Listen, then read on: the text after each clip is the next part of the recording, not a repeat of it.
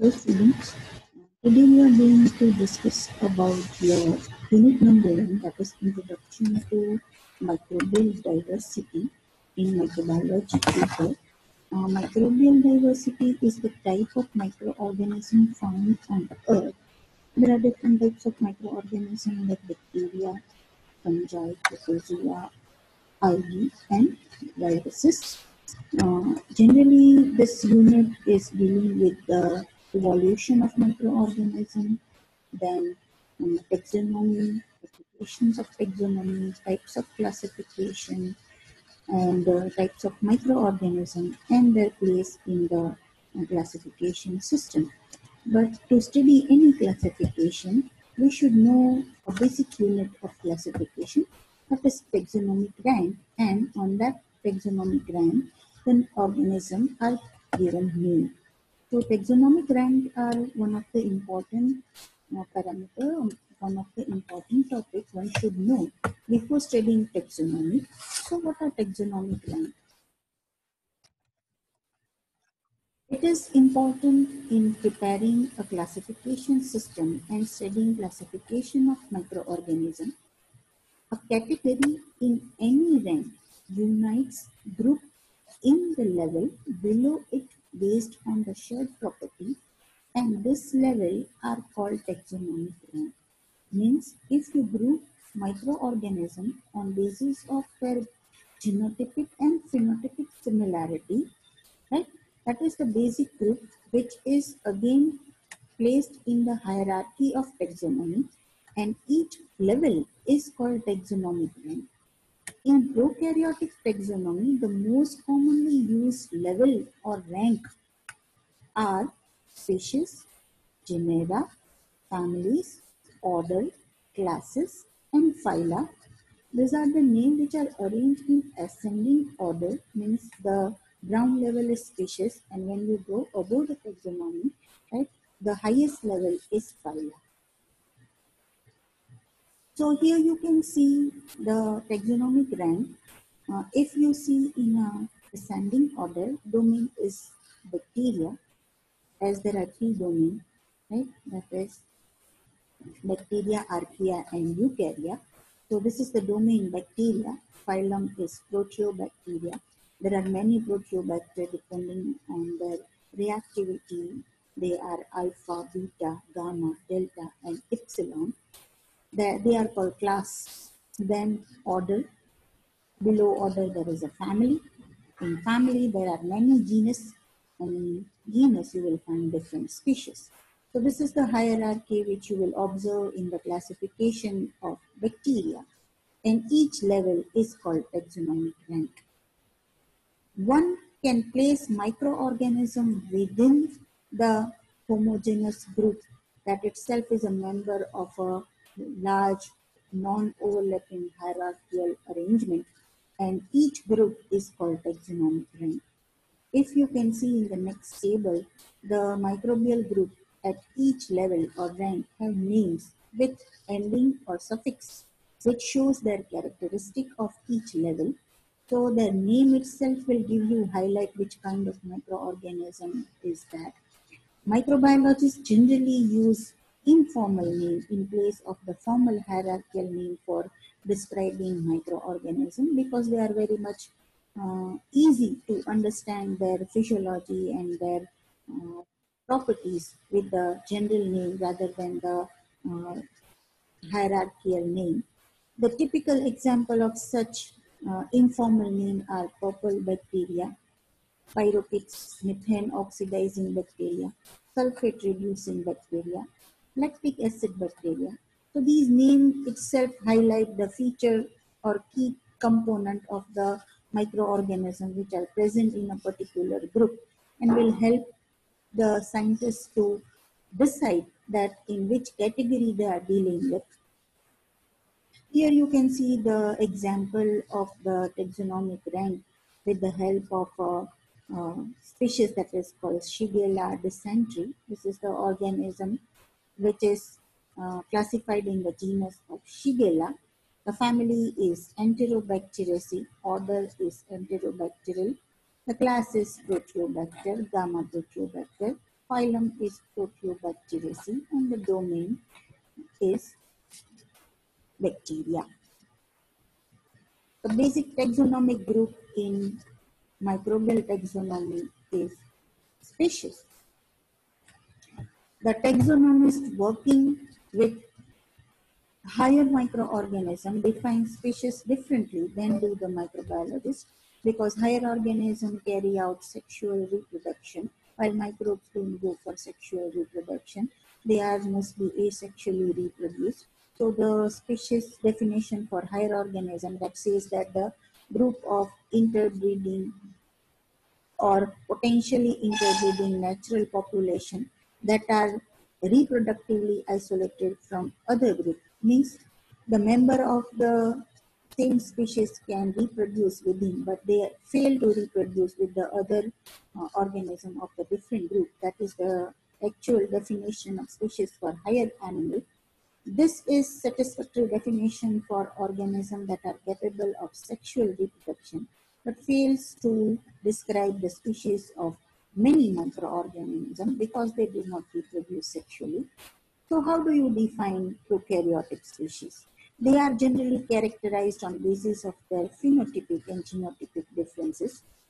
Those organisms which share their phenotypic and genotypic character, they are placed in the same group. And those who are different from each other in phenotypic and genotypic respect, they are placed in the other species. So in case of bacteria, or you can say in case of prokaryotic organism, even in archaea also, the species is more defined on basis of their phenotype and genotype rather than on basis of their reproduction capacity. A prokaryotic species is a collection of a strain that is the that is having the stable property and it is having a dif difference in the their phenotypic and genotypic property significantly from the other strains.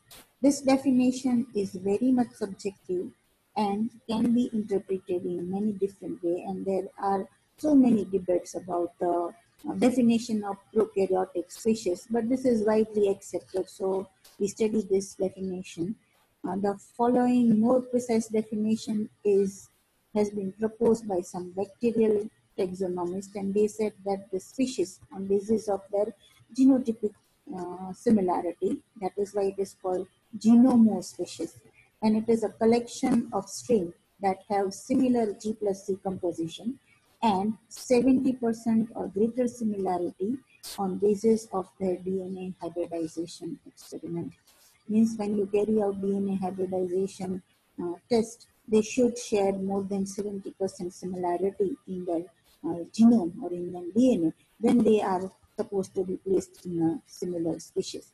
Ideally, a species also should be phenotypically distinguishable from the other similar species. Means there should be clear margin between the phenotypic character of the two species. They should not be overlapped. The strain is the rather basic unit which will define the species of, an, or, of an organism. The strain is a population of organism that is distinguishable from at least some other population within a particular taxonomic category means a strain of the organism should have certain features or should have certain phenotypic character which can be distinguishable or separated from the other strain of the different species. It is considered to have descended from a single organism or pure culture isolate. Which organism are considered of a single strain? Right, so they are the member or they are the descendant of a single microbial cell they multiply and produce large number of cells and those cells are called a single strain organism means they are the component of a single strain. This is considered to have descended from a single microorganism or pure culture isolate. Pure culture is the culture of an organism coming from the multiplication of a single isolate and that is why it is called pure culture. The strain within the species may differ slightly from one another in many ways. So you can't say that they, there is no difference in among the organism of the same species.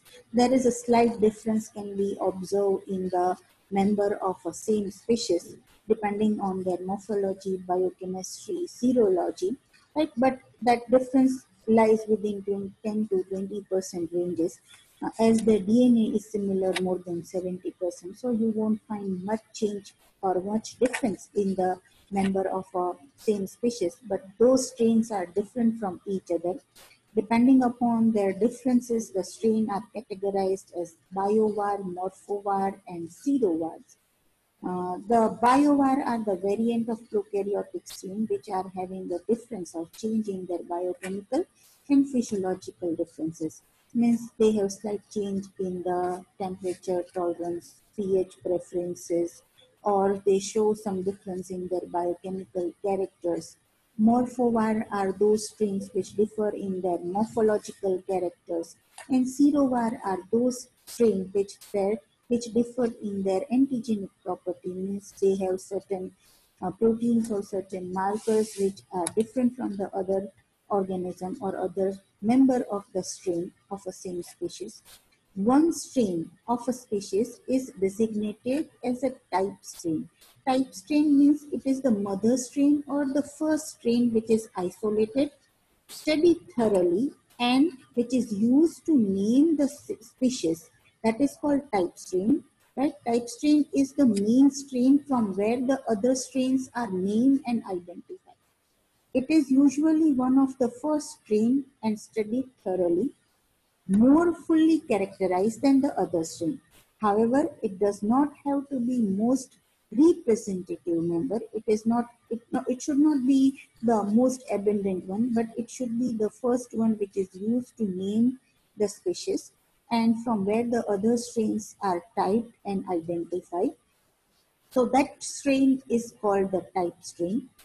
The type strain for the species is called the main strain, which is used to the uh, used for the nomenclature or for the naming of the species. Only those strains which are very similar to the type strain or type species are included in the species. So which strains are considered under the species will be decided by the character which are similar to the type strain. Those strains which share the similarity with the type strain can be accommodated in the species. If they are not similar with the type strain, they will not be accommodated in the species. Each species is assigned to a genus. Above each species, there will be a genus and it is the next rank in the taxonomic hierarchy. A genus is a well-defined group of one or more species that is closely, set clearly separate from one another and they may be quite closely related to each other also. So those species who are having much more similarity among their characters are placed together under single genus and those which don't share those character will be placed in another genus. These two taxonomic ranks are very much important in case of naming of a microorganism and the procedure or the branch is called nomenclature. So how do you name a microbe? The nomenclature is a branch of taxonomy concerned with the naming of a taxonomic group in agreement with publisher rule. There are published rules you should follow when you name any taxonomic rank as well as microorganism. Just like other living organism, microbiologists also name microbe according to the binomial system. Bi means two, nomial system means there are two different uh, group or different words which will name a microorganism. There are two different components which are used to name the microorganism. It was given by Carl Linnaeus, a Swedish botanist, and popularly accepted. The name are generally Latinized, uh, written in a italic uh, word format, italic script, and the name consists two parts. The first part which start with capital letter, it, it is a generic name. And the second part which is which start with uncapitalized uh, letter, it is a specific uh, specific epithet, means it is, it is a species name. Uh, here you can see the example very much popular uh, microorganism that is Escherichia coli. Well, Escherichia, it starts with E and it is a genus name and coli which start with small c and it is a species name. The specific epithet is stable. There is no chance that the name of species or you can say the second half is liable to change. It is fixed. The oldest epithet for the particular organism takes precedence and must be used, right? So the first time when the microbe is named, the species name should be used for every time, though if you change its taxonomic place, depending upon the further study or references, but the species name never changes, though genus name can be changed depending upon the reshuffling or reorganization in the classification or taxonomy with the help of new information available from research. For example, here you can see the genus Streptococcus has one. Now it is divided in two genera that is Enterococcus and Lactococcus based on 16S rRNA analysis and other characteristics because it was a large uh, genus and organism are having vast differences. So scientists have decided to bifurcate the genus and uh, give the two different genera, Enterococcus and Leptococcus. The organism that was earlier known as Streptococcus faecalis, where Streptococcus is a genus name, and faecalis is a, a species name, and it has given a new name depending upon the genus which has been bifurcated, and now it is known Enterococcus faecalis. Here you can see the faecalis remains the constant, but the genus name changed. Often the name will be shortened to express the microorganism. This abbreviating uh, method has got a first letter of the genus with the capital and followed by a full stop or dot and then the full name of the species is written. The list of approved short names of each microorganism were published in 1980 in a very popular book that is International Journal of Systematic Bacteriology and uh, Day by day, the newly valid names are published periodically.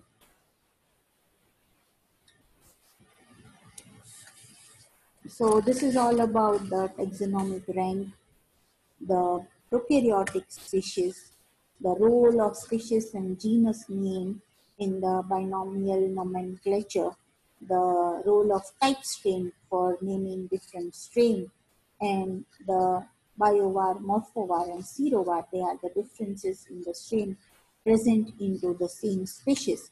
So it is one of the important topics to study before we start with the classification. Thank you.